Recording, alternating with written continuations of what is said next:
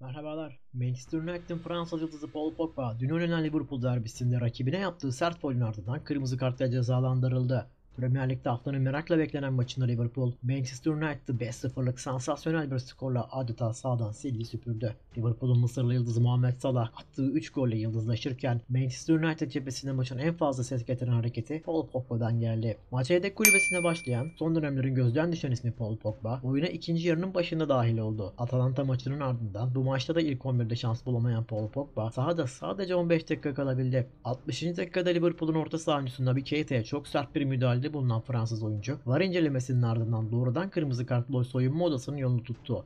Liverpool yedek kulübesinin hemen önünde gerçekleşen pozisyonda bileğine aldığı darbe nedeniyle acılar içinde yerde kalan Naby Keita oyun alanını Sed ile terk etmek zorunda kalırken maça devam edemeyen Naby Keita'nın yerine oyuna Alex Oxlade-Chamberlain girdi. Hakem Anthony Taylor aslında pozisyonun akabinde Paul Pogba'ya önce sarı kart göstermişti. Ancak daha sonra vardan bir uyarı aldı ve sağ kenarındaki monitörden faulü tekrar izleyen Taylor kararını değiştirerek Pogba'ya doğrudan kırmızı kartını çıkarttı. Manchester United 10 kişi kaldığında skor 5-0 Liverpool lehineydi. Yani iş işten çoktan geçmişti. Maçın kalan dakikalarında tempoyu düşüren Liverpool top çevirerek vakit öldürdü ve zorlanmadan hak ettiği 3 puan aldı. Liverpool'un yıldızı Muhammed Salah'la düellosu heyecanla beklenen Cristiano Ronaldo'nun performansı ise neredeyse vasatın bile altındaydı. Ağlara gönderdiği bir top offside nedeniyle geçersiz sayılan Portekizli yıldız Muhammed Salah'ın etrikine cevap veremedi ve maçta çok etkisiz bir görüntü çizdi. Bir süredir beklentilerin altında kalan Manchester United'da yaşanan bu hüzumet tek direktör Ole Gunnar Solskjaer'in üstündeki baskıyı bir kat daha arttıracaktır. Bu ağır yenilgi şampiyonluk yarışında Chelsea, Manchester City ve Liverpool gibi takımların hala çok gerisinde olduklarını çok net bir şekilde gösterdi diyebiliriz. Manchester United için şampiyonluk yine çok uzak görünüyor.